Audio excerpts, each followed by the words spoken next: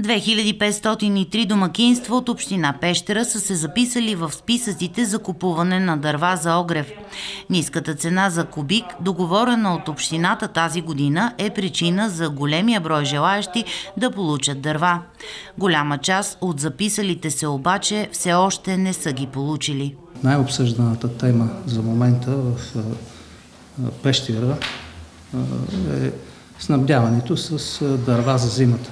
Питането ми е свързано до къде сме стигнали и обществеността и колегите да бъдат запознати, за да могат да информират питащите за дървата за огрев. Крайно нуждаещи, инвалиди, диабетици още не са снабдени с дърва. Радио е капитана, молбата е на Комо през следващата седмица да им бъдат доставени.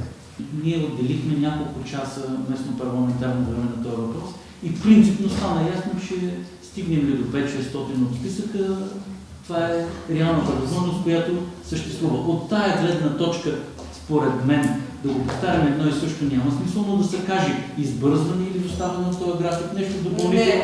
Това е важно. Всеки 5 дена информацията, която ни е предоставят е около 36-40 домакинства са снабдени с дърва. Общинските съветници предложиха информацията за това как се осъществява доставката на дърва да бъде оповестявана на сайта на Община Пещера.